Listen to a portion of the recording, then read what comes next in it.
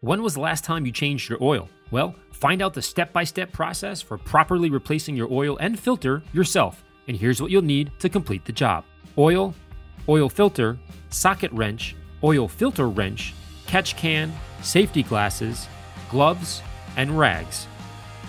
I'm Larry Kosilla, pro detailer and trainer for the last 15 years, but when it comes to what's under the hood, I'm the student. Follow me as experts teach me how to diagnose, fix, and modify cars on Autoblog's Wrenched. All right, Spence, changing your oil seems uncomplicated. You take out the old, you put the new in, but what are some of the common mistakes that take place when you're doing this? Well, like anything you do on a car, safety first. If you have it up on jack stands or you're driving it on ramps, set your e-brake, maybe chuck the tires. The engine, if it's a little bit warm, is probably good to help evacuate all the oil, but scalding oil will burn you severely, so obviously not too hot. Let the car sit for a few hours before you get started on your project. Look at the owner's manual to see how much oil should be replaced and the type of oil recommended by the manufacturer. Then, visit your local auto parts store to buy the oil, filter, and catch can. Make sure your catch can is large enough to hold all of the fluid and doesn't overflow. You'll find a thick book with all the makes and models of cars. Find your year, make, model car in the book and the associated filter number. Loosen the filler cap on top to allow the oil to flow quicker when draining down below. Slide the catch can into place and find the oil drain plug located here. But, of course, consult your manual to be sure. Next, loosen the drain plug. If it's too tight, you may need to use a longer handle ratchet for better leverage. Only unscrew the bolt about halfway until it's able to be twisted easily by hand.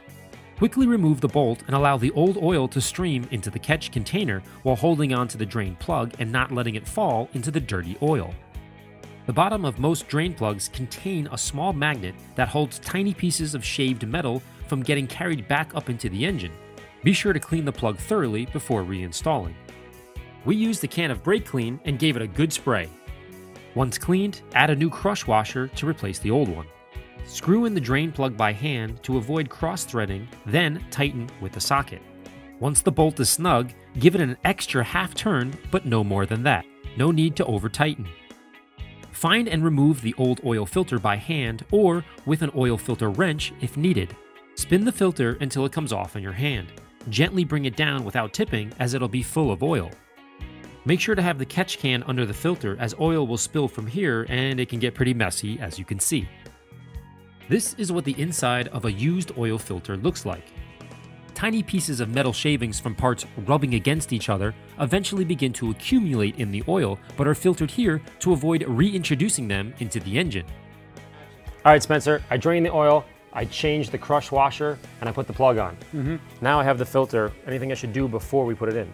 Well, you want to put a light skim of fresh, clean oil around the outside on the O-ring. But one of the better things to do is if you pre-fill the filter itself with oil, you don't have that time for the pump to have to fill it up, then the oil gets to the bearings in the engine.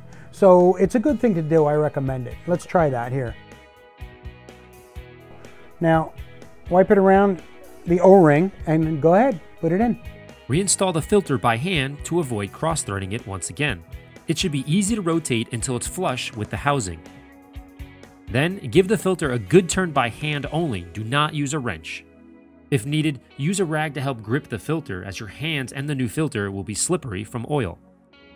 Now that the drain plug and filter are tight, we add about 4.5 quarts of oil for this particular car. But check your manual or search online to find the correct amount of oil for your engine. Be sure to use a funnel to avoid spilling.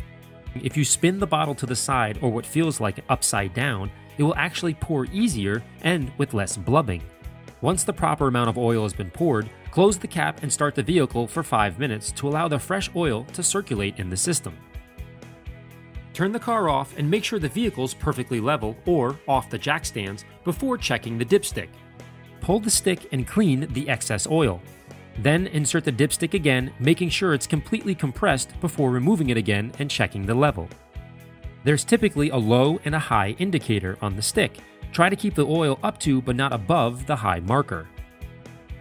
Be sure to dispose the used oil by collecting it in old bottles, juice jugs, or water containers and bring them to your local auto parts store, mechanic shop, or recycling center as they must properly dispose them. Cars for many people are just transportation, while others, it's a way of life. But I think whatever camp you reside, it's hard to argue that vehicles are integral part of our day-to-day reality. Changing your oil is an easy price to pay for the speed, comfort, and luxury our cars provide for us. For more how-to car repair videos, visit autoblog.com slash wrenched. I'm Larry Kosilla from AmmoNYC.com. As always, thanks for watching.